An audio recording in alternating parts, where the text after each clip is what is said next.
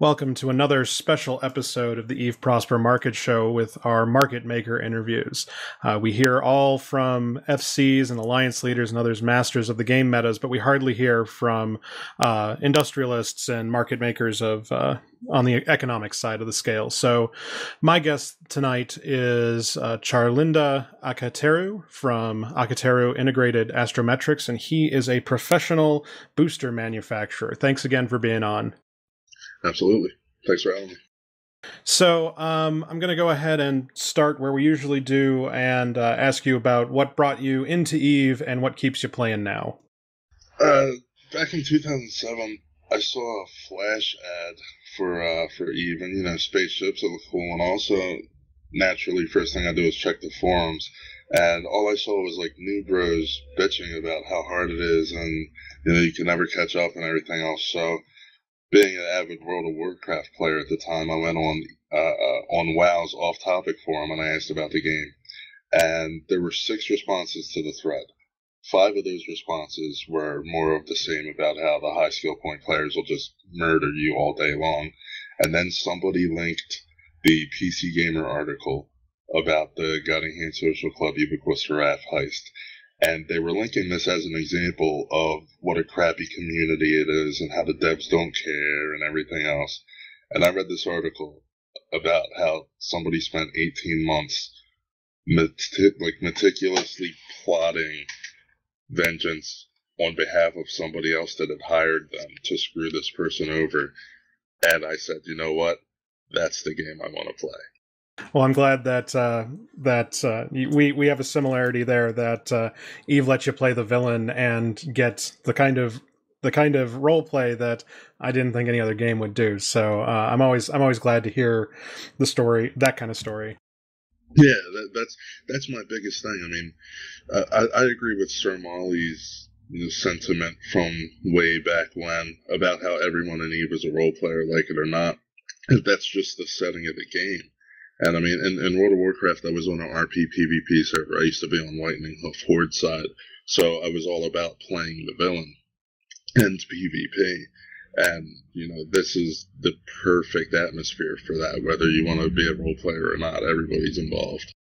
Yeah, and um, I mean, from my side, the the case was um, even I had a bunch of RP nerds when I, I, tried WoW and Eve. Like I started even WoW at the same time and just did not get sucked into WoW. And my friends were like, "No, no, no, it's a uh, RP kind of thing. Like you can do all this stuff." I'm like, "No, no, no, it's like a red versus blue. Nobody's actually evil. You when you get to the top and the end of the game, everybody's just misunderstood the other side, and it's it's not you can't be actually evil and eve actually gives you the space and area to either be truly good or all the way down to the opposite end of the spectrum.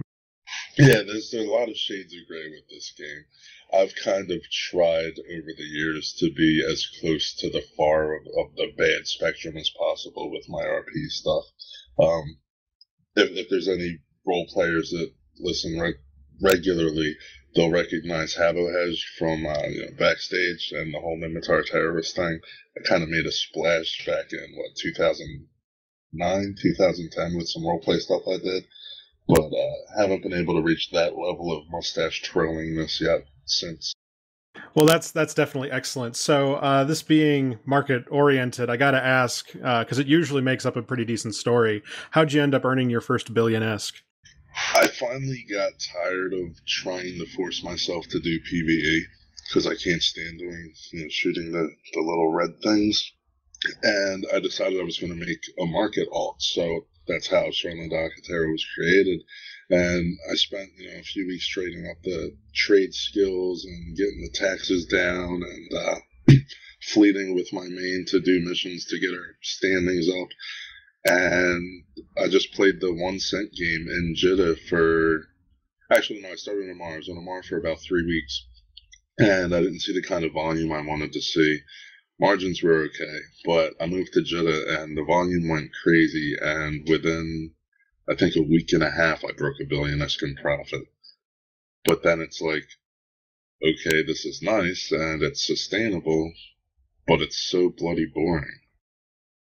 I hear you. So there. that was the end of that. Yeah, um, that's that's been a, a a stopping point for me is that uh, once you sort of get it, that you can grind up the ISK. It's just that you end up spending a lot of in-game hours messing with the orders, and it doesn't really have as much of the it, it it's hard to get out get out of that niche into something new if you wanted to be like either it doesn't work or uh, wanted to try something new or it gets to be uh, just time consuming and boring if you're just trying to be the better human robot. Right. And like th- theoretically i'm going into it thinking you know i could just do this for like five minutes every hour or two and continue pvping on my main and doing things that i want to do. And once you get to a certain point where you've got so many active orders and, you know, just going through them all to update and make sure that they're the highest buy and the lowest sell just takes so much time. It's it's not a simple five minutes here or there. And you know, like I, I would read market discussion and I would see people talking about these low volume, high value, high margin items, and uh, I, I, tried with faction ships, faction modules like you know Serpentis webs, dominations, warp scramblers, all this crap. And now it's like, okay, less orders, higher margins, but low volume. I might as well be in Amarr again. So either way, it just it wasn't something that I felt like I could maintain my sanity and maintain the profit at the same time. So I guess that does move us on to the next thing. Um, as far as as the the market orders go, yeah, the one isking thing is a is a pain in the butt, and it can make money. It's but it's not exactly fun. Uh, what kind of projects have you done outside of that, and what's your favorite that you've worked on? I kind of got thrown into nullsec really, really early. In 2008, I built a nullsec industry corporation. We were in a terrible goon pet alliance called Venom Alliance, living all the way down in Omist and uh, my, my corporation was building capital ships that would go on and be sold to uh, to TCF for the most part, and I think a couple actually went to Red. Uh, I didn't have a whole lot to do with the actual industrial aspect. I was just kind of more administrating things and keeping everybody from ripping each other's throats out and fighting over Veldspar and stupid crap like that but it, it was successful. You know, I, I made a good bit of money, but it wasn't like my personal profit. It all just went back into the production. Um, once Venom had its little drama cascade and, and failed into three or four different alliances, I kind of went like small gang of pirate and low sec for a little while till I really got deeper into Eve's roleplay, and that was when I, I had my little high sec extortion corp thing but the entire thing, like it, it wasn't simple privateers or, or marmites or code or whoever. There was like role play background to everything, so we set up a Minmatar terrorist war deck corp in Amarr High Sec and actually made a good bit of money off of extorting corporations. You know, for for us to drop the war deck, they had to pay reparate, reparations to the Minmatar people on behalf of us. Oh, that's excellent. Right. So we actually had a, a, a Severance Corp that had left Severance and were setting up in, what is it, Penirgman over there by Amarr, that mission hub. They gave us a Navy APOC at the time. Uh, Navy APOCs were like 800 mil for the hull. So they gave us a, na- a NAVPOC in reparations. And we were paid 300 mil in reparations by another corp, 1.5 bill by another corp. That there was only like four or five corporations that paid out of the dozens that we actually war decked but we wouldn't drop the war deck until I didn't see anybody from that corp log in for at least a couple of weeks. Like we were either killing your corporation or you were going to pay, and there was only six of us all together, so that was a good project to run. That sounds excellent. So, um, just to uh, I, I I really do love those those side corps. I've always wanted to start one myself, but time and effort. So I brought you on so we can talk about boosters. But before we get on to that, uh, you had mentioned the PvP and the RP aspects. Um, wh- what are you specifically doing these days that uh, keeps you keeps you playing Eve? It's it's weird because you know Charlinda was my trade all, and now I find myself spending a lot more time on that character than I do on my main I've actually been doing like little minor solo PvP in frigate holes in the faction warfare area in Placid. Uh, kind of in my spare time when I don't have to be doing something with the pastas or hauling something here or there. Um, we were pretty split up. Uh, uh I, I, was taking an approach for logistics to having refinery towers set up in different places and then moving the refined product to Placid to do the manufacturing. And you know, obviously that means flying back and forth on a blockade runner quite a bit more than I would have liked. So we're actually moving into wormhole space to kind of centralize everything. We're doing that today. We just got the first tower set up in our new headquarters. So I'm going to be spending the next couple days doing that. I wish that I was PvPing anymore, but I'm thinking that now that we're getting the corporation centralized, and we're actually going to have everyone all in one place instead of you know alpha cells over here, bravo cells over there. Then uh, I'll actually have ten people online, and we're all in the same place at the same time, and we can just say, "Hey guys, jump in these ships, let's go." Yeah, there's definitely a line you have to walk if you want to do both industry and fighting. It, it's very hard to to be a- actually able to do both, especially in the same corp. Yeah, the the one thing that we've been kind of wrestling with, I, have got one guy, uh, Aniak, uh, he's he's my partner in the corp, and uh, Priest is actually, uh, we we just promoted him to partner a few days ago. But me and Aniak particularly have been talking about uh, the killboard situation because you know with with bad, expensive industry-related losses on killboards, PvPers don't want to join your corporation because you know it just looks bad. But with the core of the corporation being for the drug production, at its heart, it's an industry uh, uh, operation. I really don't give a shit about.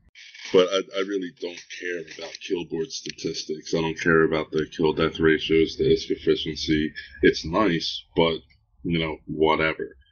Uh, so we're kind of banking on moving into the wormhole space, and there's a lot of people that just want to be in the wormhole space. We're kind of banking on that to help us with the recruitment. And I figure once I've got a bunch of people that are in the corporation that have skill points in combat related stuff, it shouldn't be that hard to talk him into throwing a warp disruptor on that Tengu. yeah, absolutely.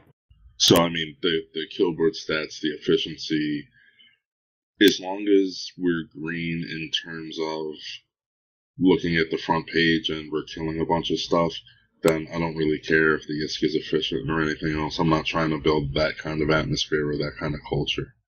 Yeah, the, the, the people do tend to get uh, really um, tied up in the in the minutia of tracking those kind of stats and and the most successful PvP corps I've seen tend to leave those behind because the kind of work you have to do to be really zKillboard masters uh, is just kind of shitty. So so uh, let's go ahead and move into the meat of of the the topics. Um, uh, anyone who's heard me on on hydrostatic knows that I am just obsessed with the whole booster uh, meta. We've done a whole show on it. Um, we have the truckloads of drugs soundbite everywhere. and um, so I wanted to bring on someone who who has who has brought who has really done the entire chain start to end and has kept it running because uh, there are challenges in that operation that I don't think a new player who would want to try it out uh, would understand. So, um, can we talk about some of the choke points in manufacturing and distributing boosters uh, as far as you see it? It is so time consuming to produce any quantity of the higher grade boosters. So you've got your, your high skill point veteran players that already have you know, neurotoxin control level five and, and neurotoxin recovery level five, and they're heavily mitigating the, the chance of side effects and the the severity of side effects when they experience these, and they already know you know what what the odds are. They know what the chances are they're building their, their ship fits and, and their doctrine fits around the side effects that they may or may not uh, uh, see. So, you know, recently I actually had a customer point out to me that X Instinct is potentially better for use with logistics than mind flood is. And that's, you know, some out of the box thinking that I just hadn't thought of. So it's 55 hours of reaction to produce enough pure compound to make 50 units of a standard booster. And if you want to make an improved booster, you need, what is it, 53, 54 hours worth of that pure standard compound from two different boosters. And then you need to react to that for another 55 hours to get enough to make 50 improved. And if you want to make strong, guess what? Now you got to get 50 units worth of the improved reaction plus another standard reaction going for 50 hours. And then you can take all that and put it back in the oven for 50 more hours to be able to make the 50 strong boosters. We're talking about days here to create the products that a pilot from, say, Pandemic Legion wants. And we do have a couple of PL customers uh, that come to us looking for strong boosters in quantities that, frankly, we've struggled to, to actually keep up with. Um, then you've got, you know, the synthetic boosters. It doesn't take a lot to, to make them. The gas is cheap. Uh, it's the same reactor time, but we'll have a stockpile of synthetic boosters on forever because nobody wants to buy the crap except for people that are scared of the side effects. And the only reason why they're scared of the side effects is because they don't understand that they're not always going to get all four of these penalties. That's why we built our infographic uh, that, you know, we kind of had our little tussle over. Uh, thanks a lot for the graphs. They're beautiful. But uh, we, we, we kind of structured the infographic to call attention to the fact of you know, if you're just using standard boosters, you're probably not going to see any side effects. Once people realize that, then they want to buy the standards, but they're afraid of the improved and the strong because the chance of the side effect is, is a lot higher and the effect, you know, the penalty is a lot stronger if they get hit with it. So when when players graduate from synthetic, a lot of them will kind of just level out with standard and they're fine there for the next two or three years until they're really fighting with capital ships all the time. Then they want to improve. Then they want strong. So, how are we going to get enough pure standard compound together to even run an improved reaction when every single day we're getting cleared out and, and we're getting big orders for standard boosters? People want 50 units, 100 units. I've, I've had an order for 200 units of standard blue pill you know, I was able to fill it, but then I didn't have any pure standard blue pill to go in to make an improved blue pill. So here comes Pandemic Legion guy number three asking for 50 units of improved blue, and I'm just, you know, sitting on my hands. There's nothing I can do for him. Well, and it comes down to um, for those who who don't use boosters, uh, that the the sort of secret sauce behind this behind the scenes is that um, if you build the ship correctly, you can negate a lot of the problems with boosters that if you go and you look through the booster side effects like for instance the uh, i'd have to pull up the information i don't have it handy right this second but like the armor repair uh, exile uh, booster will improve your your your armor repair but it will the things that it could potentially damage three out of the four you don't care about on an on an armor ship. Right, exactly. Like, uh, uh, don't quote me on this. I don't have the infographic up right now, but um, I'm I'm pretty sure one of them for Exile is tracking, and then there's uh, what is it, missile explosion velocity or whatever. Now, if if I'm using Exile, there's one ship that uses missiles that would armor tank, and that's the Sacrilege. That's the only one I can think of you know, people don't really PvP in Damnations where I'm at, so I, I can't really imagine seeing a Damnation throwing missiles and actually being on the field. So, you know, you, you, you got one ship where this could be a problem for you. Otherwise, you're pretty much home free, you know I mean? Like, who cares about missile explosion velocity? I, by all means, give me that penalty every single time I pop X out. Well, and then my personal favorite that I, if I can't think of anything to uh, to to take when I'm undocking, is X Instinct because I can tell you most of the ships that I'd want to that I fly, I want to have the lowered signature radius, and so for instance, I like using it on uh, logistics frigates, especially logistics cruisers, um, and pulling up the information that that your penalties are armor hit points, shield hit points, turret fall off range, and missile velocity, and I can tell you right now, three out of four of those you can give them to me and I don't care. If I'm running a shield logi and you take away my armor hit points, well, okay, that kind of sucks, but I think that my my signature radius is going to more than make up for that on the thing I'm actually tanking. And turret fall off range, I don't have turrets, so I don't care.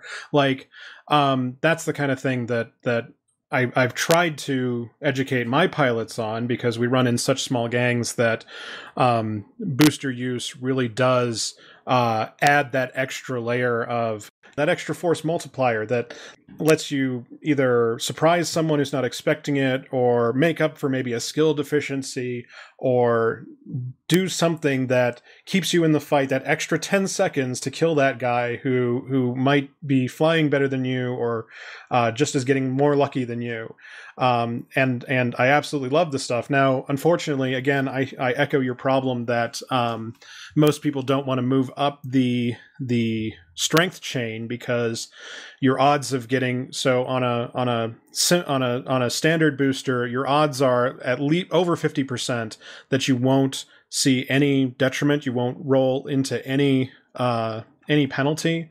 But as you move up the chain, that means that the 50 percentile uh, chance on on improved is to get your you should expect to get one and if you're using strong then you need to be ready to prepare you need to be prepared to deal with two and we we hate penalties in MMOs when you're min maxing a minus uh, a penalty of any sort is is apocryphal right yeah definitely and i mean uh, I, I I haven't personally used improved and strong myself. Like I have them on hand. I've I've got ten strong blue pill just waiting for me to get around to train for Sleipnirs. You know, um, I, I I'm not flying ships where it's cost effective to be using the, the higher grades personally. I don't do a lot of battleship PvP, but when when I take drop and exile together, I actually have had this happen to me three different times where, you know, I'm getting a 25% bonus to my tracking from the standard drop. And then because I've got, you know, the, the neurotoxin skills trained to like level three and level four respectively, I take a 16% penalty to turret tracking. Well, I'm still ahead on my tracking you know? So, okay, I can deal with that. And I'm ahead more than a synthetic booster's 3%, too. You're ahead by like 8% on, on your turret tracking. I'm good with that. So, you know, I know it, it would be the same thing if I was taking the improved or the strong. You know, that the numbers are going to be inflated, but I'm still going to be ahead.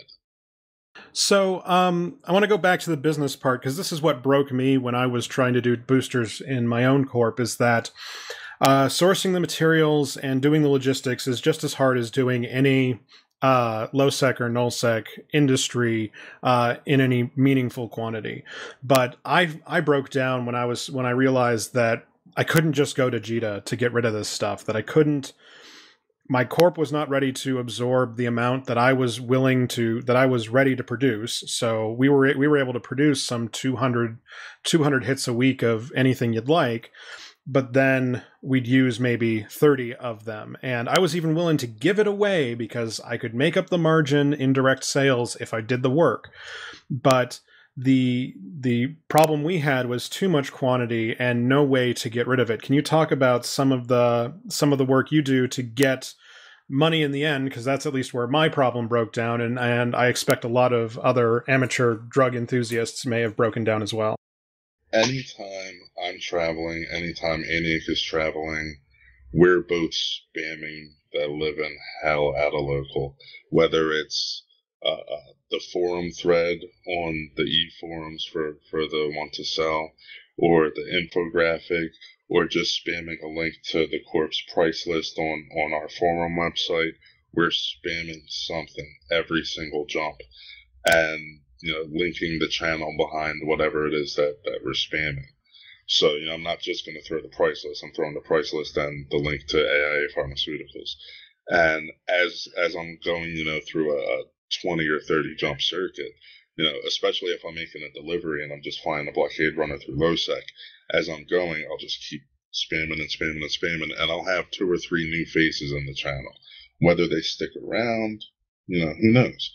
But I've had plenty of people that'll send me a mail that never were in the channel that say that they heard about it from somebody else. So you know, it's it's kind of that word of mouth thing to to get our name out there.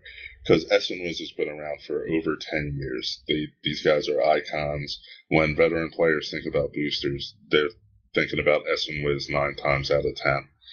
I feel like the only way that we're really going to compete is if at least three out of ten are thinking about us. You know, let's get some of that market share, get some people into our channel, and and make them aware of our published price list.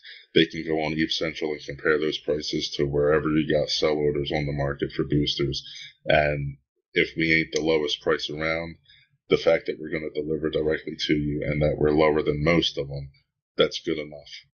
Yeah, absolutely. The uh, the thing that the thing that I love that's really romantic, I guess, about uh, about the booster trade is that um, it's everything you'd ever want in the in a hardcore in- industry kind of thing is that if if you love uh, a complicated chain. If you if you really do get behind like doing the entire chain in house where you're hauling and building and selling and advertising and really going the whole the whole route uh, drugs are basically the place to be because I mean anybody can produce a capital, anybody can produce Tech Two. Um, the only other place that gets anywhere close is super capital production, and uh, you don't need a hundred billion to play in the uh, to play in the drug market. Yeah, no, I, we, started out with the 1.3 bill that I had uh, just in liquid ISK when I got started. And you know, like I said, I made that doing the one cent game, one Iskin and and Jita, and 1.3 bill was enough to get. What did I? I started with three medium towers, and each one of those towers was lightly defended. You know, mainly just running the reactions. And uh, I remember going with Caldari towers to begin with because of the higher CPU budget. That was because I was an idiot. So now I've got you know more than three medium towers, uh, a, a, lot more reactors than those little Caldari CPU budgets would, would let me run because you know I've, I've had to bite the bullet and upgrade to large passes. You, you, you were mentioning having a, a whole ton of stock and not being able to move it. We've actually had plenty of times where I'm looking at, you know, 200, 300 units of something and it's a popular product like standard blue pill and it's just not moving. And then all of a sudden somebody comes in and they're like, yeah, I need 500,000 units of it. And it's like, okay, number one, I know that you're treating me as a wholesaler because of my prices and you're just going to go and seed your local nullsec. And I'm okay with that. But let's get to some realistic numbers here. This is what we can produce. What can you do with that? Let's work, let's meet in the middle there and then we can be okay. And you know, taking that approach, I actually managed, with the help of my alliance mates over at Es and Whizz, uh, I managed to fill a 2.5 billion ISK order for a nullsec alliance, and that was his entire aim was to seed his local market with boosters that were going to complement the doctrines that his alliance runs. So it's it's kind of weird. Like right now, I'm looking at over 200 units of standard mind flood that I really would have expected to sell by now, and over 40 units of improved mind flood that hasn't moved in weeks. And I'm just thinking, somebody's going to figure out that mind flood will help their alliance's logi pilots, and then all of that shit's going to be going immediately. Yeah, and you have you have a better stomach than I do on this because uh, my number one enemy in in most of my industry stuff that I've had to beat out of people is stockpiling, and you have to to be able to do the drug market. So um, my my bad attitude did not help. Well, one of the things that we, we keep arguing, uh, well, I mean, arguing is not really the right word because we're not fighting amongst each other. Like we're we're fighting with ourselves. Is I look at that stockpile of mind flood and I say, you know what? If I put this on the market in the right place, I know that it'll move. But if I put all of it on the market, then when you come into my channel and you need 50 units of you know improved mind flood, now I don't have it because 10 units are here and 10 units are over there, and I got 15 units on sale over there. So I can't take that risk. And the reason why I can't take that risk is because I don't have the, the capacity for production to be able to do both. So that's another part of why, you know, we, we've moved our production out of Placid while we're setting up, getting more centralized and getting into the wormholes. We've got a lot of ideas for how this is going to help us improve our production capacity. I think that once we've got both things going on, where I can have that stockpile, and then I can have you know five alts sitting in various places like, uh, let's say Vey or Huola or uh, Tama or you know Old Man Star, and just maintaining sell orders at competitive prices. You know, uh, using our ability to generate the gas in house to kind of price our competitors out of those markets, I will sell at a loss for a year straight if it makes you not try and compete with me. And then I'll charge whatever I want. And then when people see me charging 15 million ISK for a unit of improved exile on the market, and then somebody shares my link and they see that they can get it for 7 million ISK if they just come to my channel and talk to me directly, I'm okay with that. Yeah, absolutely. It is it is a relationship game uh, more than anything to to um, because I, I, know I know this surprised a lot of my my uh, co-pilots was that um, when I showed them the actual numbers that even if we produced in house and we could move the stuff at any reasonable price, that um, the actual markup that you see on the market is incredible yeah, because it's, of the disgusting like like we're like i was i was honestly telling them that if if we can if if we can run a demand in house for one third of the product then i could go sell the rest of it on whatever time scale it takes because uh, we could cycle through the products. We could you know basically do a whole we're producing this this week this that next week and and do everything you need to do to to get it out there in the world and that we could give away that one third and still be making making back the materials, fuel costs, and putting something in the corporate wallet. Yeah, it's it's it's so much bigger than people realize because everybody's used to you know the capital production chain or the tech 2 production chain or the t3 and you know there's so many people in it now there's so many people farming those materials that the costs for all of that just get lower and lower and lower. Well, I mean, there's there's a lot of things happening right now with, with minerals. I don't pretend to understand half of it, but I know the capital holes are, are seeming to be up a bit. But you know, in general, every other production chain is so easy. Everybody knows, you know, it's it's very clear cut and simple. You know, this is step one, this is step two. You need material A, and you mix it with material B. And I'll, I'll tell you, this was actually the fourth time that I looked at getting into booster production. The first time I looked at it was uh, I was doing missions for Sansha, Sansha's Nation out in Stain, and I saw, you know, in the loyalty point store the the BPCs for synthetic Frentix. And I'm like, oh, make drugs. How do you do that? And, you know, I go searching and searching and searching for all this information. I even went in Es and Whizz's public channel, Narcotics, and uh, you know, despite the MOTD in there, I, I actually tried to you know, get some insight, and they were dicks about it. But you know, I'm a dick about it too when people come into my public channel asking me how do you do this? Because if everybody knew how to do it, where's my money coming from? And uh, even even with the the PDF that Miona from Ataraxia Pharmacies put together way back in the day, kind of putting it all out there, putting it all. This is what you do. This is how it works. I'm looking at it and trying to wrap my head around it, and I'm like, wait, so I have to go to eight different null sec and eight different low sec, and I have to do PVE out there, and I have to probe out this gas and then in order to get the gas at the time, there was no venture, there was no prospect. So, you know, I have to take a hurricane that's got no guns on it, that's got cargo expanders on it to get a few units of gas. And I can't even dock in the stations out here.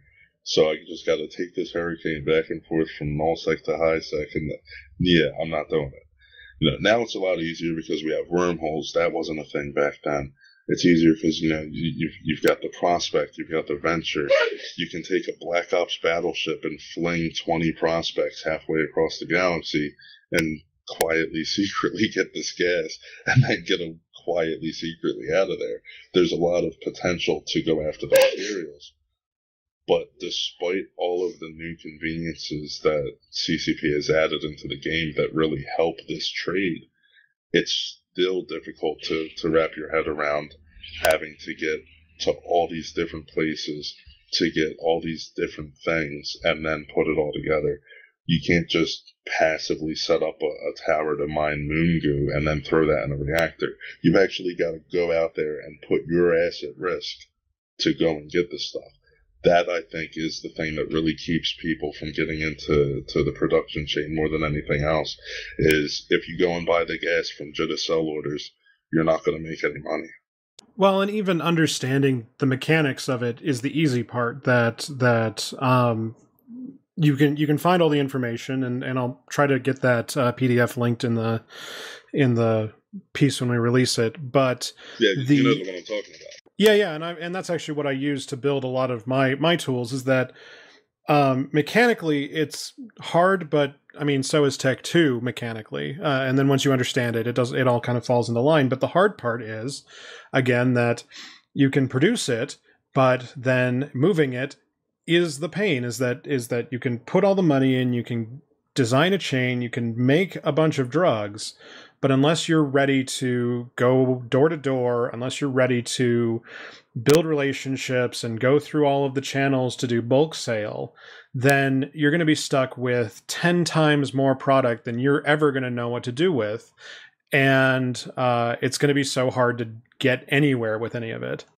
It's funny that, that you use the example of door to door because that's actually what I do uh, in my real life. I've been door to door sales have been for a year now, and I've seen some success with it. And it's it's like you mentioned earlier, you know that relationship game. You have to build a rapport with people, and that's so so important. Um, I don't I don't know if I at this point can agree though that I would ever have a stockpile of product that I just can't move because if if worse came to worse, you know, if the activity level of the corporation drops to the point where, with all these people having information in their bio, they're not even playing, so no one's uh, clicking on it. If nobody's spamming local you know, as they're traveling, if nobody's in the public channel when I'm offline to greet people and, and to set up these deals and earn their commissions, I would still be able to at least take it somewhere. I mean, faction warfare never stops. So you, you look at the faction warfare areas, not where there's, you know, 30 random TLF NPC Corp guys and they're all in Bantams trying to farm ISK. I'm talking about, you know, going to Society where dead terrorists is, is hanging out. I guess maybe they're a bad example because they seem to be dabbling with production too. Last time I was in Society, I saw drug labs on D-scan. But, you know, you can go to, to Tama, you can go to HE where what is it, Shadow Cartel is over there, I think. You know, go to uh, you know, Dastrins where, with tissues running around. Like, there's so many people that are in low sec to buy your boosters, and you know, if that fails, mark it up forty percent and go put it in, in, in the market and curse and you know, delve or wherever else you know, in Fountain, wherever there's NPC nullsec stations. Like somebody's gonna buy this stuff. All you gotta do, like, you just gotta find, look, look, look at the active hotspots on the kill boards, you know, and and then whoever's most active around there, look at what they're flying, look at their loss mails. I'm not going to see a bunch of crash if all they're flying is ten, is uh, Proteuses with rails. I'm going to see a bunch of drop. I'm going to see a bunch of X Instinct for their logic pilots and Mind Flood for their logic pilots. And if they're running Cerberus gangs in Delve, then I'm going to see a bunch of crash out there. You know, the the the market research is it's Eve is real. It's just like real life. You have to do all of the things that somebody in an actual corporation would do to try and figure out where their demographic is at. Yeah, and and you're you're absolutely right, and it comes down to a laziness for legwork myself that uh, between real life stuff, there's so many times where I'm like, oh, this would be so great, and I look at the actual activity required. I'm like, nope, that would take logging in every day, and I can't guarantee that. And let's look for something else. Like it just that that that's at least the spot I'm coming from. Not to not to turn off everyone. It's just that you know I've got a I've got a thing where I go and I set up systems so they become self sufficient, and then somebody else takes it over. And if I can't make it at least a certain level of simple, then it won't reach critical mass and it won't go out there. So like we did um, in my corp, we did fitted ship contracts and we guaranteed a margin on them because it's a luxury product, and that took some seed mo- some seed money and some seed effort and like took a good month of working on it. But then a few other people were like oh this is this is like free money. Uh, i mean quote unquote free big scare quotes free. And they ended up taking it over and i don't have to do any more of it. And that was the hope with our drug thing is that if i could figure out some sort of system that between this tool and that tool and this product and this thing that you could you know you could set it and forget it drugs was not a set it and forget it kind of kind of option well part of that i think is you know in as far as having the rest of your corporation step in and actually be doing it is I don't know about you, but I have a very difficult time trusting anyone with the role config starbase equipment. And the way CCP has this thing set up, in order to online and offline a silo to put more gas in and to take the finished pure compound out, you got to have config starbase equipment. There's no getting around it. Well, except that that final product is worthless, so it's so hard to steal. Like, um, I, we've had we've had a similar thing where uh, we were doing the regular reactions, the regular moon reactions, and people are like, "Oh, are you worried about people stealing it?" I'm like, "Go ahead, steal the precursors. Tell me, tell me how much money you're actually going to make." Like, unless you follow the plan, unless you get it out, and and if you try to ship it out, the the jump freighter guys will see it and it's too big to haul in a regular thing so go ahead try and steal it make and and like I, I know that no one in my corp is uh, we we we're pretty we're pretty chill bros. It's not been a problem, but like we've always set up systems like go ahead, steal it. I dare you. Like the only thing you're going to do is be a dick. you're not going to hurt anything. I don't have that benefit because I mean like there's 18 members in the corp right now and what seven at least are alts. So like starting out with just myself, I got to a, I got to a point where I'm realizing that three medium Caldari towers isn't going to cut it, and that I'm going to need more bros. I'm, I'm, i need people to, you know, help with with material acquisition and you know promotion and sales. There there has to be more than just me doing it. So you know, with recruitment, and I'm I'm trying to figure out I'm looking at Es and Whizz and I'm saying there's five, six different people in this channel, and every single one of them is responding when someone comes in there asking to buy drugs. So I know it's more than just one guy selling. How are they doing it? Everything that I've done with Akheteru Integrated Astrometrics has been me brainstorming on how the hell are they accomplishing? How have they done this for 10 years? And I've never seen a major corp theft or anything come out about. Es and Whizz has never folded. You know, the the alliance hedonistic imperative has been up and down. You know, they've been a force and then they've been quiet. You know, right now we're quiet and we're not really trying to kick over anybody's sandcastles. Nobody's really trying to kick over our sandcastles, and we're just making our drugs and, and staying relaxed, you know. And and I'm I'm looking at it, and it's like, how have they weathered the storm? and they're still in narcotics. They're still making and selling boosters. Now that we're in the alliance and we're closer with Es and Whizz, I've come to find out that the systems that we came up with, that we put in place, are nothing like what Es and Whizz is doing.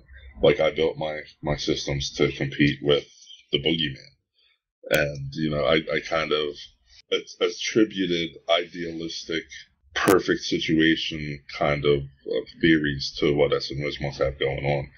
And we were actually a lot closer to where they are when we joined the alliance because of that you know, in, in a few short months. We don't have anywhere near, you know, the ISK reserve or the stockpile of product that they have to work with. And obviously, you know, the expertise, they've got the, the combat sites, they've got the, the gas mining, they've got everything down to, to a science. They could do the stuff in their sleep, those guys. But in terms of just merchandise and, and business, uh, and our, our internal system for you know, how we pay our guys for what they do, we're a lot closer than uh, than what I expected. And what what we're really focused on is how do I bring people in and allow them to have fun and make money without putting the corporation at risk? Because I don't know these guys, and these guys don't know that the stuff that they could potentially steal isn't really that valuable. Um, obviously, gas is too big to steal, but the pure compound, if pure compound went for a walk, it would hurt because a lot of gas goes into one unit of pure compound. You know, it's, it's not cheap.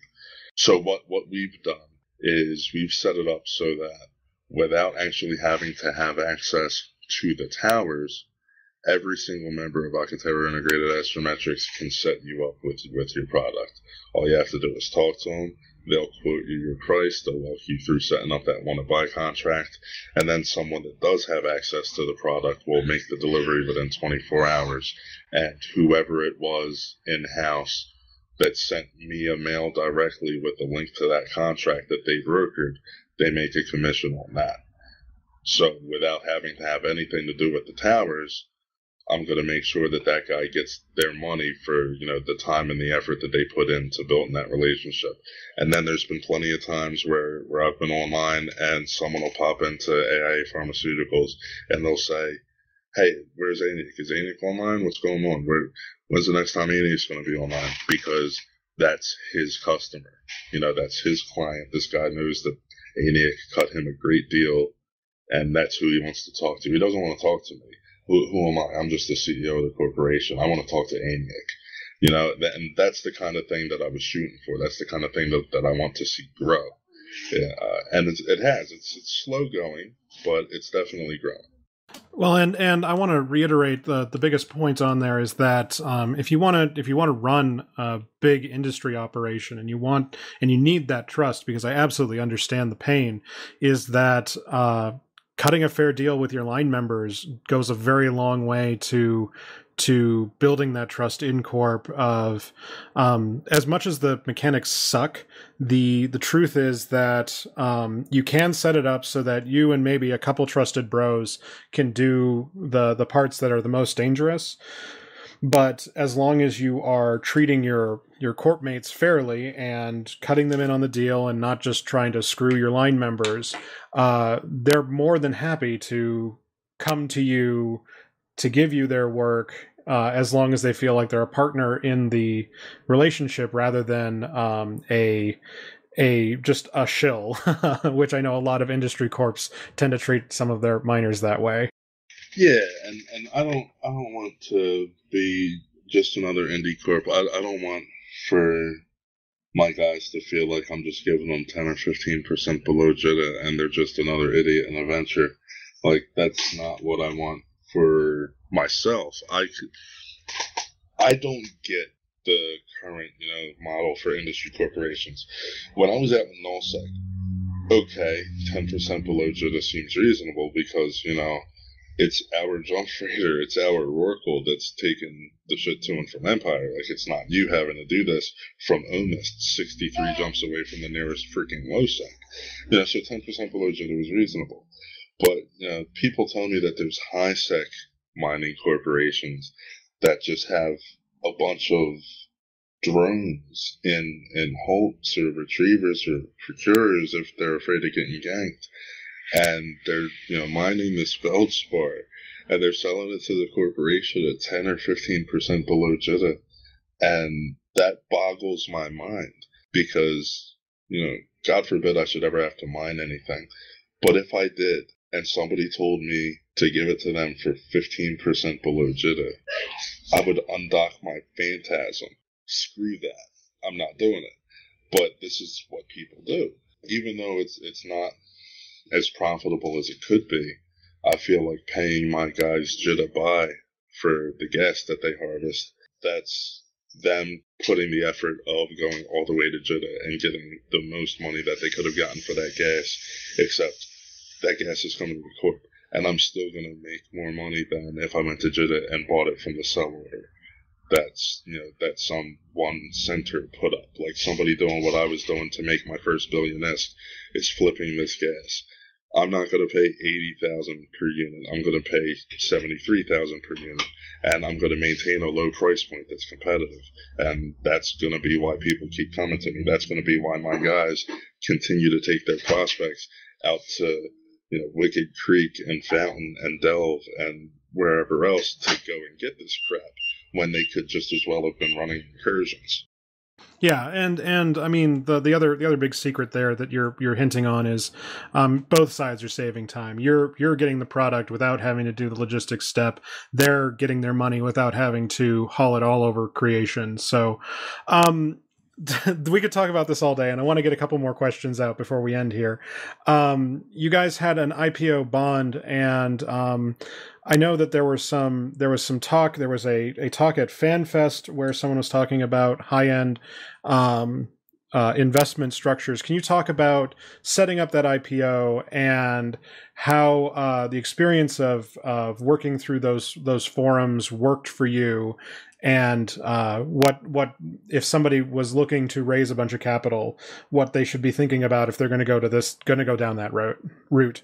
I, I actually when when I knew that I needed to to expand, I wanted to expand quickly because I'm not a very patient person, right? So I remembered back in the day, you know, when when Ricdic was around with Eve Bank, and uh, uh, there used to be like a stock market thing. I forget the name of the guy that was running it, but you know, people would, would do these IPOs and, and buy and sell shares and then there was somebody that was actually like keeping track of who owned what shares and, and you know what the word was for those player corporations, what these shares are valued at, and you know what they're being bought and sold for. So I was actually looking for that, and I found out that that's not a thing anymore. And what I wound up finding was I saw one player that had made a whole bunch of money off of an IPO, and I saw another player that had made a whole bunch of money, well, borrowed a whole bunch of money uh, with a bond. And I went to the in-game channel for you know the, the trade discussions, and started asking questions in there. You know, I, I wanted to talk to somebody that was really involved in that part of the game. I wound up talking to uh, Elizabeth Norn from what's this corporation called? Nornir Research. And you know, they're big on trading uh, uh, blueprints and blueprint copies, among other things. And I also spoke to Sister 2 uh, behind the Eve Museum. And between the two of them, you know, so, speaking to the two of them separately, they both gave me a lot of uh, a lot of encouraging insight and you know, the the thing that they really really stressed was it's about your reputation. You know, because there's a lot of people that are stupidly space rich that have more risk than they're ever going to be able to do anything with. And for the most part, those folks just want that is to be working. And if they feel like they can trust your reputation, because they don't know you, why would they trust you? But if they feel like they can trust your reputation and trust the fact that you have a reputation that's worth protecting that you don't want to see that get screwed up, then they'll work with you. And uh, I, I, I went back and I used an example of a bond that somebody else had run literally years ago through the market discussion forum. And I kind of, you know, I, I copied and pasted it into uh, into Notepad, and then section by section, I replaced all of the text you know, I, I didn't want to copy the idea. I just wanted the, the format, the structure of it to make sure that, that I hit all the bullet points that an avid market discussion reader would, would actually be looking for.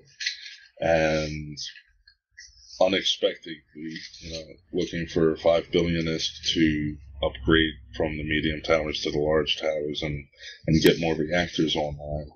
unexpectedly, I got that five billion ISK filled overnight, and that's actually coming to a close here on uh, in five days on November 20th. We are going to be expected to pony up 5.125 billion ISK to our seven investors, and that money is sitting in a separate wallet division, just waiting for the 20th. Yeah, no further effort needed there, and we still have four billion ISK in unsold product and about two billion ISK in pure compound that hasn't been turned into product yet. So I think that's been a very successful experience for us. And I, I just, I really want to thank Sister Sister from Eve Museum and uh, uh, Elizabeth Norn from Nornir Research for the advice and the insight that they gave me on how to approach the market discussion crowd. I, I, think that if not for talking to those two, I probably would have gotten laughed off of MD and might even still be working with Medium Towers and Placid instead of taking over a wormhole system.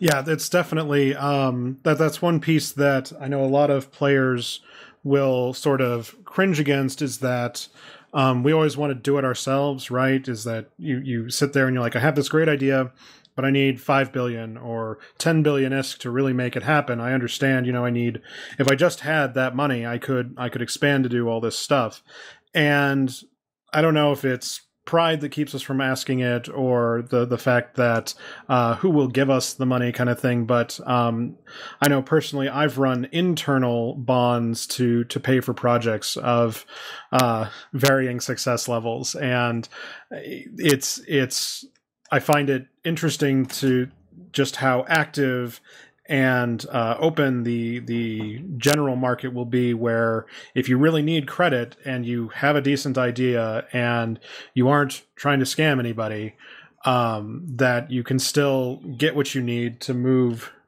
to move an idea forward. Um, and and it won't cost you you know hundreds of dollars to buy the plex to go get it or or or um, trying to get convince all of your friends please please please give me a billion of your isk yeah, exactly. And, I mean, it's when the Rorqual first came out. Maybe it had been out for a little bit, but like when when it first came out, everybody's you know in this mad scramble to to get their hands on one, and here we are in Omist doing this this mining and capital building, and you know we we've got the mining foreman links or whatever on on battle cruisers and what have you, and it's like wow they made this ship for us, so it was kind of a big thing but like we would never have that much liquid just sitting around. Like everything was always getting flipped back into you know what we needed to buy to keep the production going. And you know it's profitable, but the profit's going back into the business to to expand. And you know, instead of having two capital ships in in the oven, now we've got three, and you know, great, good for us. We're successful in Eve, and then CCP threw the Rorqual at us, and it's like we can't afford that. So what we wound up doing was uh, we offered shares to just members for that corporation, uh, you know, kind of a profit sharing system, I guess. And we valued those shares at 10 million ISK HOP, and we created like 400,000 to sell. And within a couple of weeks, you know, our members had bought up every available share, and we had four bill and went and got that Rorqual and you know, so I, I kind of had that memory going. Except now I didn't have 183 members that are all getting rich off of mining, you know, ABC ores. So that wasn't going to work out. But I felt like it was growing on what I could do with the three medium towers, but it would grow so much faster if I had the large towers and if I had enough gas to put in to get those reactions going. And uh, it's it's been beautiful. There, I'm not going to say that it's been perfect. There has definitely been times where reactors were offline because of you know, me wanting to hold out and see if my guys would be able to source the gas in house rather than having to go and buy in it and then adjusting my price list to reflect that. So you know, there's been times where I haven't been able to fill a order, or where I've needed Es and Whizz's help to be able to fill a order. But like, like I said earlier, it's kind of the point of moving into the wormhole is we're going to have more sources of income now. So if my guys, you know, let, let's just say, for example, I need amber, really, really need amber, and get off my lawn as being particularly voracious about getting people off their lawn, then just having them go out there is not going to work. So I got to buy it from the market.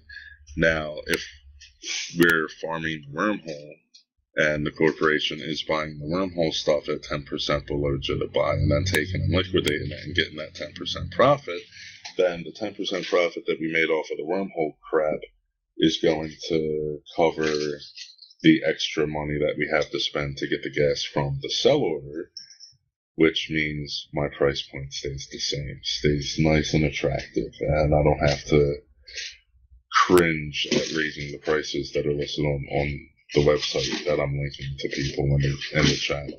That's really the point of coming into the wormhole. You now that it's, it's all going to be centralized, I'm not going to have people in Aridia, people in Molden Heath, people in Lonetrek, people in Placid. I'm just going to all have, you know, these are the exits from the wormhole. This is where we're going today. This is what we're doing today. I think everybody's going to be able to benefit. You know, and, and when I say everybody, I mean me, I mean my pilots, I mean our customers. Everybody's going to be able to benefit from this move right here. And I wouldn't have gotten to this point if not for successfully completing that bond and getting the rapid growth and the rapid expansion that that influx of ISK created for us. So, I mean, if, if you're out there trying to trying to make something work, whether you're getting into Tech Two, Tech Three, you know, trying to scale up Tech One production. If you're just a trader and you're and you're trying to get from Rens and now you want to open up in Hek Two or or whatever it is. If you think that the only thing stopping you is getting some more ISK, then you know take your case before the court of market discussion because these people have ISK, and if it's uh, if it's a good idea then you'll have the ISK that you need to get that started.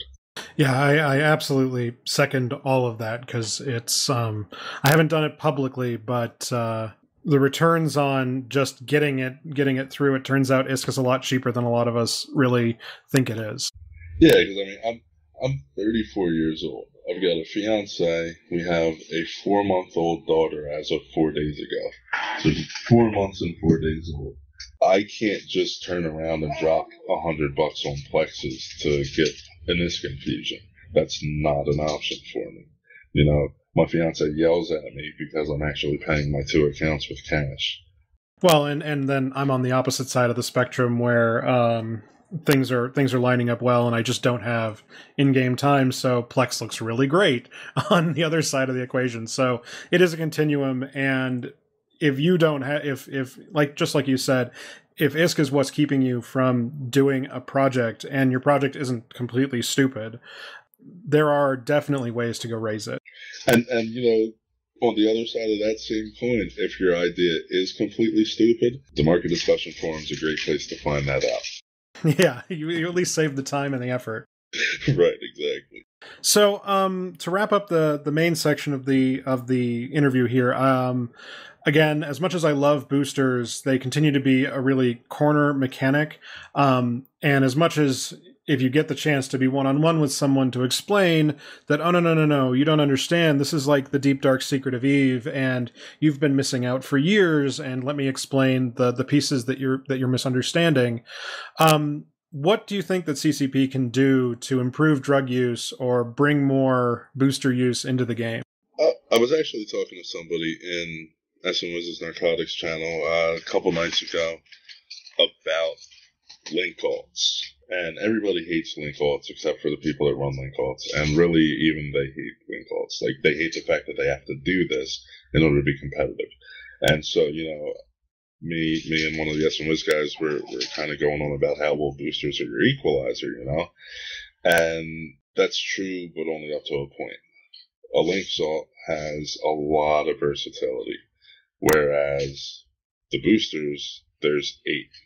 There's eight things that you can get a bonus to. And you're going to risk a drawback. You know, you're, you're going to risk up to four drawbacks for each of those things. Whereas the Link Alt, he doesn't have drawbacks. He has skills that he can train to get to the Tech 2 for the stronger boost. Like, it, it, it's, it's a good theory, but it's kind of broken. And I think that the main improvement that could be made is, you know, other than fixing link alts and making them have to actually be on grid to provide their benefit. I think more boosters. You know, we've got one slot three booster, missile, uh, missile explosion radius. Now, what about explosion velocity? What about missile velocity?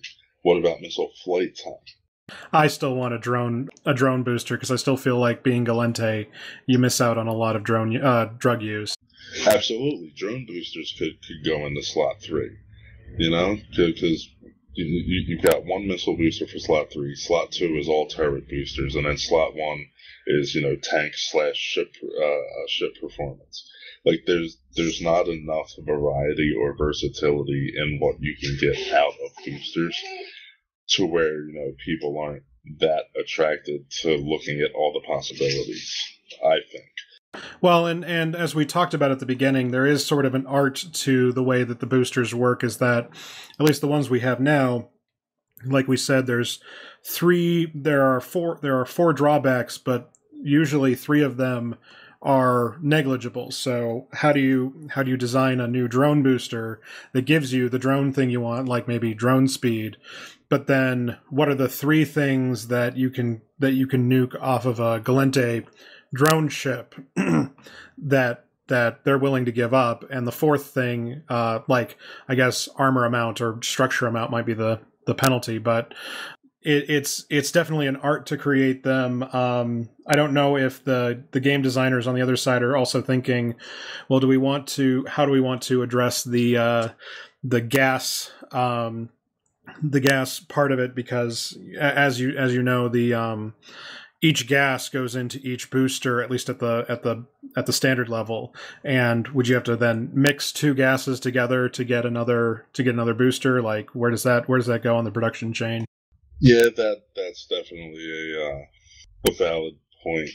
You know since there's eight booster types and there's eight gas types i think introducing more gas you know uh, in, in, introducing more gas in, in more regions. And I think that rather than having the effect of watering down the gas market as it is currently, I, I think that would actually make all the gases more expensive because, I mean, realistically, there, there's two types of player. Well, three. There's three types of player that I see going out and mining K-space gas. That's, you know, the same newbie in the venture that's in the wormhole mining the wormhole gas, and they're just mining some gas, and they don't even have any idea what the hell it is that, that they're mining. They just see that the buy order in their local market hub is nice, and there's a wormhole that opens up in in you know Fountain or Wicked Creek or wherever they're going. So good for you, new bro. Thanks for helping the economy. Then you've got your your incumbents you know, get off my lawn is, is up there in the north and they own that space and they're exploiting it for all it's worth. And like I said, they're very voracious about getting people off of that damn lawn. You know, so they're going to, to be pulling in that gas and probably filling some trader's buy order out there for 40k a unit. And then this guy's going to jump it up and, and, and bring it to Jita and charge 125 on a sell order because he's an asshole. Then you've got us and we know what we're going after. We know where to find it, and we know the different ways that you can go about getting there and getting back with your home.